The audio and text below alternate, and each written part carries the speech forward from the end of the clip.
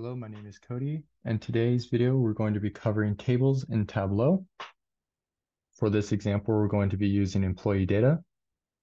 And to get started, we're going to go down to this tab, and we're going to create a worksheet. For this example, we have titled ours individual employee engagement. You may want to do this at the beginning so you don't forget later, and it will also keep your worksheets organized if you have multiple. Over here on the left, we have our different data points you can use to create your table. To start, we're going to use manager names. Two things you can do with this is you can double click. This will place it into rows or columns automatically. This is also interchangeable between columns and rows, but for this example, we're just going to leave it in rows. Now what we need is to fill in our columns for these managers. So we're going to go down to the Q12 data. We're going to click Q1, hold shift, and this will automatically select all the data we need. And then from here, we're going to drag it into the columns.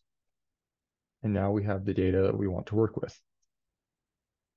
So from here, we're going to change the bar graphs into a table. So if we go up into the Show Me tab, it is already selected on the bar graphs. If we go into the top left, this will automatically change it to a table for us to work with. Now there's a couple different things you can do with this table. One thing you can do is create subcategories in your table. For this example, we're going to take employee names and we're going to put it right next to manager names. Now this will place your data next to your other data and fit it into the graph we have employees here and managers that are over these employees. This is just another way to represent the data and add a little bit more into your table. For this example, we're just going to stick with the managers and the Q12 data. Another thing you can do is you can filter out data you don't want, or if you want to add it more in later, click the little arrow, click edit filter. And as you can see, we have all the different data points that we can add in here.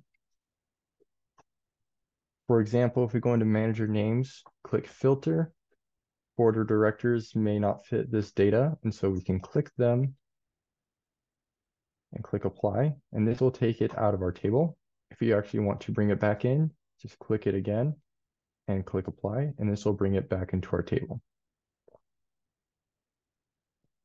Next, another thing you can do is sort your data. If we go into the columns and go down to sort, there's a couple different options you can choose from. First is data source order, alphabetical, and manual. For this example, we're going to use data source order.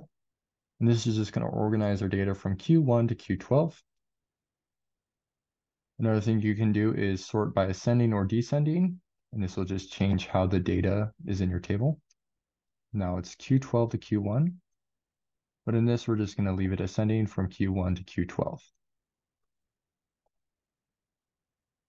Next, another thing you can do is go up to this tab here, and this will change how much data you're seeing on your screen. If you click fit to width, this will stretch it from left to right so it covers the entire screen that way. If you click fit to height, it'll cover the distance from the top to the bottom. And if you click entire view, it'll put as much data as you want on the screen and cover the entire thing. So to go over what we did Things you can do with the tables are create subcategories with different data points that you have. You can filter your data for any points that you do not want or you want to include later.